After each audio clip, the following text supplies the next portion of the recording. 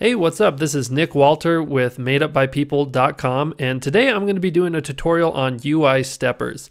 Uh, so they're not really covered in a lot of different blogs. It's more of a kind of unique thing inside of iOS development. So I thought I'd show it a little bit of love and uh, tell you all about it. So a UI stepper is just this little two button thing that you can add to your app and either increase or decrease some amount of something. So I'll show you all different ways that you can use it.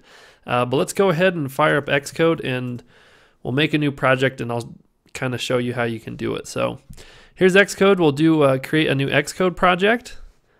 And we just want to do the single view application. And we don't need core data for this. Let's just leave this as universal. This is just asking, do you want iPhone, iPad? And for language, let's have that be Swift. So we'll just call this Stepper Fun. Okay? Awesome. So we got all that. We'll hit next. And from there, I'll just put this on my desktop and hit create. So this is something I always like to do is just make sure that my app is working. Um, so I'm just going to choose the 6S as a simulator here. Come down here and just make sure that's checked and I'm going to hit run. Should just be an empty app with a white screen, but I always do this just to make sure things are working. And uh, we can see the simulators down here and it looks good. Okay. So now let's go to our storyboard and we're going to just put two things on here. So one is we're going to put uh, a little stepper, not the segmented control. We got to keep going. The stepper. Okay, go put that up here. But we're also going to put a label out here, and we won't work, work with the label right now, but uh, we will in just a little bit. So uh, here we have the stepper and the label, and the thing we want to focus on is the stepper. So you'll notice if we just go ahead, if all we do is just drag and drop it out here, we go ahead and we hit run. Um, wait for the simulator pop up. You can see you can do do pluses, minuses. You'll notice if you do minus enough, this is kind of grayed out, but once you hit that, then it shows up that you can do a minus. So the way that a stepper works is that you give it a minimum value and a maximum value. So um, you can say, you know, the stepper can go all the way down to zero and it can go as high up as like 50 or something like that. And each time you hit like the plus button, it goes from zero to one, then one to two. And if you hit minus, it goes from two to one and one to zero. And if it's already at zero, it won't allow you to go further than that.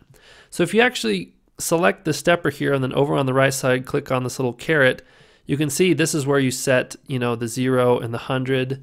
Uh, you can set what you want it to currently be at, and you can change it so that the step, um, you know, rather than going, if you click the plus going up by one, you can have it go up by a half, 0.25, like any decimal that you want, it'll go up. If you know what doubles are, um, it just, the value of the stepper is a double. So let's make it so that as we're, you know, hitting plus and minus with the stepper, that it will update this label so we can see what's going on there. So let's go to our view controller here. And uh, I guess actually we want the storyboard here and we want to do a split screen. So let me make this full screen so we can see it a little bit better. And uh, you just have to have your stepper selected here. And I'm going to do a control drag right over here. And I'm going to put it down below these two functions and I want to change this to an action. Okay, so if you can see the event value change, this means anytime someone hits a minus or a plus on the stepper, um, then this function gets called. So I'm just going to call it what it's called here. I'm going to say, uh, well, actually, let's change it. We'll call it stepper tapped. Okay. So now we have this function here.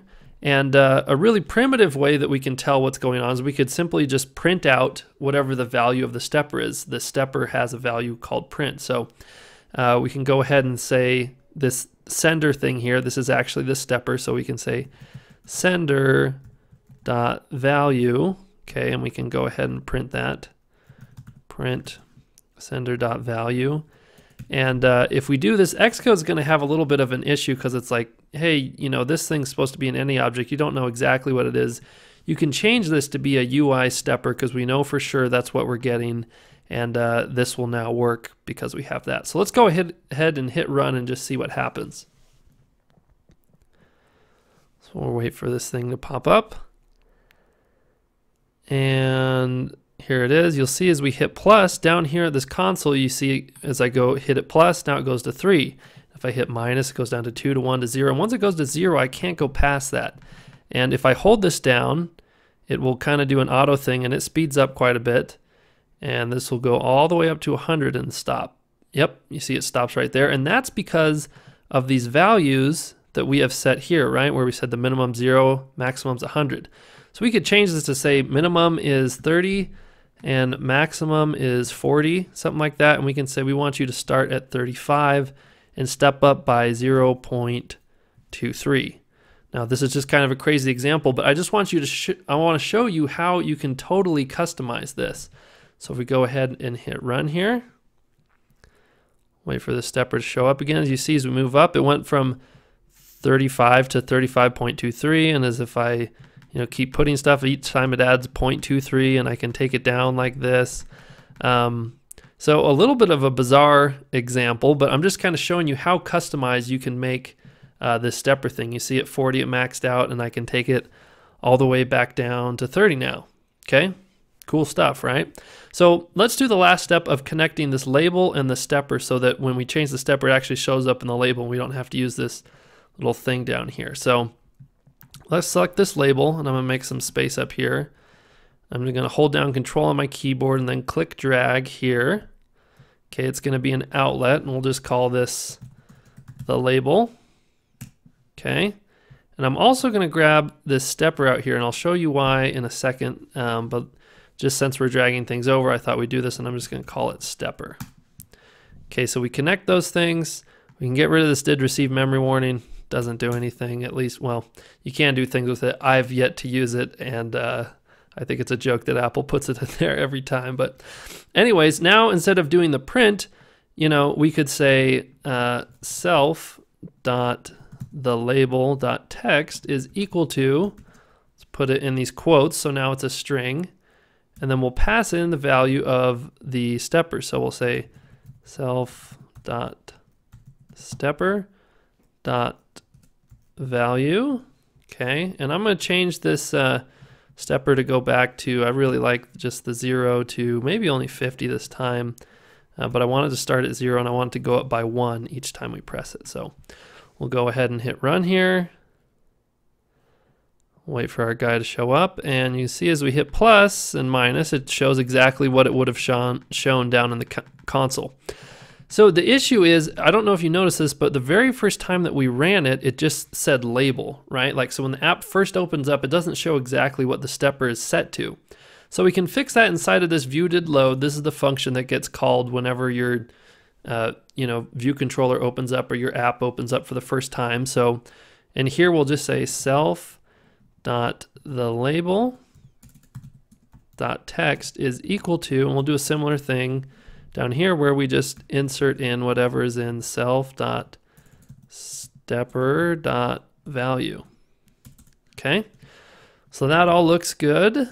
And let's go ahead and run this. We'll see our little thing pop up here and you can see it starts at zero, zero, and then we add and we can subtract. So, and the reason that we just didn't set this thing equal to zero, or if we, you know, just didn't put hard code like the number zero in there is now, if we want to change the st stepper and we say, yeah, the current one should start at like 20 or something like that. You notice we change it on the storyboard and then when our app launches, it goes sees, oh, okay, the stepper's at 20 and it puts it up there. So this is kind of the better way to do this rather than just saying, okay, this thing's equal to 0.0. I mean, you can do that, but then you have to make sure this is the same number as whatever you put into there. So let's keep it how it was there. Last thing I just want to touch on is a little bit of customization that you can do. So here we have these behaviors for auto repeat and continuous. So this is for, um, actually I forgot what the difference for the two is. A great way to ever figure out how to use like a control or something.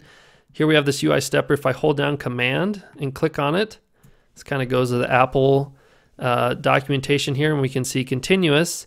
If yes, value changes events are sent anytime the value changes during the interaction. Okay, so we'd probably always want to keep that to yes. Auto repeat.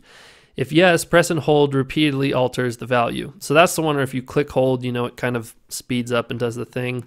So you notice on this guy, if we take auto repeat off and then we run this app, da, da, da, da, you can see if I press and hold this, it just only goes up one time, right? Whereas before when I was pressing and holding, it would go up like all the way up to the top. So there you go. You have it, UI stepper. Um, doesn't get a lot of love other places, so I thought I'd show it some love. Again, my name is Nick Walter from madeupbypeople.com. Come over there if you'd like to join my mailing list and get all sorts of tips and tricks for iOS programming. Thanks and have a great day.